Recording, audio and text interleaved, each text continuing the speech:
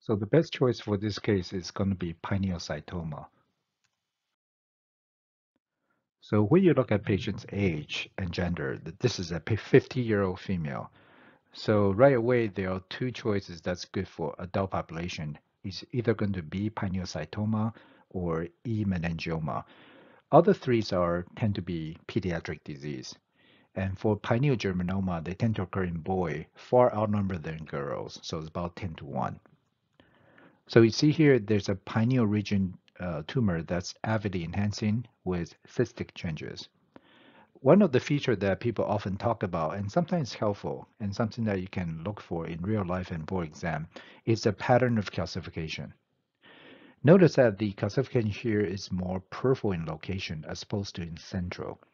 So it is said that for pineal parenchymal lesion like pineocytoma or pineoblastoma, because the lesion occur or grow within the parenchymal itself or the, the gland itself, they tend to push the calcification outside.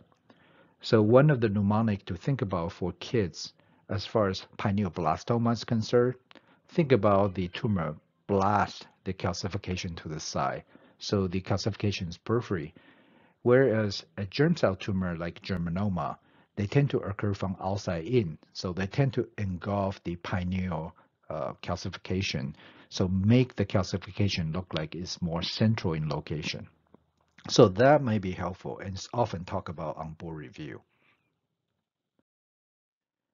As far as pineocytoma goes for uh, some of the stuff that they can ask you on board exam, it is an adult disease. So unlike pineoblastoma, that's pediatric uh, disease there's really not gender predilection. Female slightly greater than male, but it's essentially one to one. It's a low-grade lesion, so it's WHO1. Again, contrast that to pineoblastoma, which is a WHO4 tumor. Because of this location, any type of pineal mass, whether it's a pineal parenchymal tumor or is germinoma or germ cell tumor or metastasis, they tend to compress on the tectum and which in turn will compress the cerebral aqueduct. So a lot of the time, patient were presented with the signs of obstructive hydrocephalus first. So it's not uncommon at Children's Hospital. We see kids comes in with hydrocephalus, and we subsequently dis discover that the patient has a pineal mass. And also its location that if you compress on the superior part of the dorsal midbrain or the superior colliculi of the tectal plate, the patient may present with Parinaud syndrome, so they have a problem with upward gaze, for example.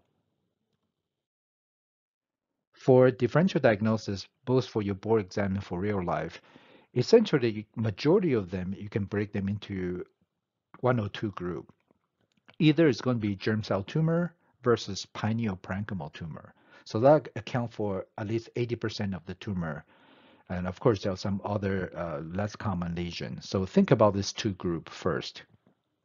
For germ cell tumor, majority is going to be pineal germinoma. And in younger kids, think about teratoma, especially if you see ones contain fat. For pineal parenchymal tumor, there are three main groups. Pineocytoma is the one that we have. It's a low-grade tumor, WHO1. Pineoblastoma occur in kids that's a high-grade tumor, WHO4. There's one in between called pineal, uh, tumor of intermediate differentiation. So the way to tell them apart, sometimes you can use age. So for pineocytoma and for pineal parenchymal tumor of intermediate differentiation, those are adult tumors. On the other hand, pineoblastoma tend to occur in kids. So age is important. For germ cell tumor, uh, one of the important important demographic point is pineal germinoma tend to occur in boys. It's relatively uncommon in girls. It can occur, but just much less common. Another thing we talked about earlier is the pattern calcification. So in our case, pineocytoma, or in the case of pineoblastoma, you can see the calcification is relatively peripheral in location. Contrast that to this case with a 11-year-old boy of pineal germinoma, you can see the calcification is more central. So the tumor tend to engulf the calcification, make it more central in location. So that point may be helpful on board exam. Let's look at other choices that doesn't work as well in this case. We already talked about most of them. For pineoblastoma, again, they tend to occur in kids. And also, a lot of time they look very heterogeneous and with often with cystic changes, sometimes with hemorrhage. For germinoma, again, it's kids and also occur in boys. So for choroid plexus papilloma, they can occur in the third ventricle, but most of the time, by far the most common location is going to be atrium of the lateral ventricle. Same thing with intraventricular meningioma. The most common location is going to be in the atrium of the lateral ventricle. I hope that's helpful for this case. Good luck on your board exam. Thank you.